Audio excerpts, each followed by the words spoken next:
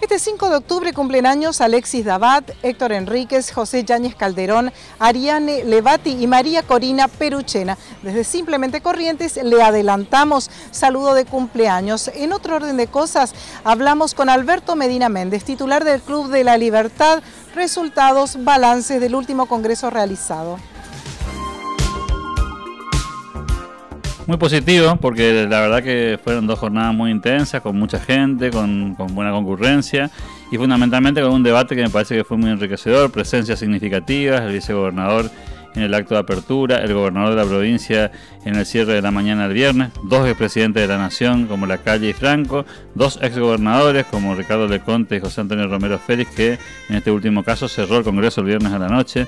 Creo que la verdad que nos fuimos todos muy satisfechos, muy contentos con el trabajo realizado. Siempre hay cosas para ajustar. Conclusiones. Las conclusiones más importantes son que, la región, que Corrientes, que el NEA no tiene hoy una agenda para el Mercosur.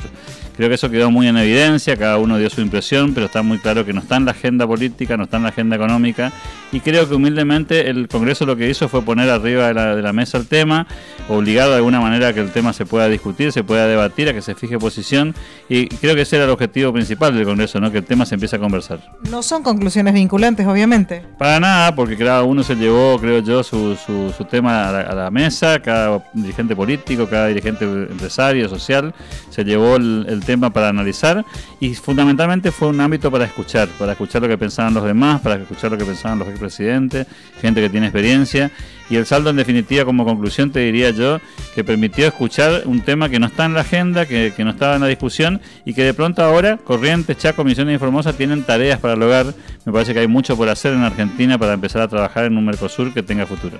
¿Qué le queda al Club de la Libertad de aquí a fin de año? Bueno, mucho por hacer en materia de, tareas, con el cine de debate, con los desayunos de coyuntura, con conferencias que todavía nos quedan pendientes, un encuentro de, jóvenes estudiantes de, América Latina que se va a dar en Corrientes en octubre.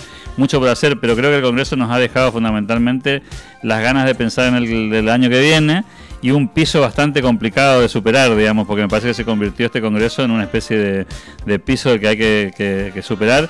No va a ser fácil, fue un Congreso con muchas figuras, pero bueno, ahora el desafío es nuestro, ¿no? De, de redoblar esfuerzos y conseguir un mejor resultado el año que viene.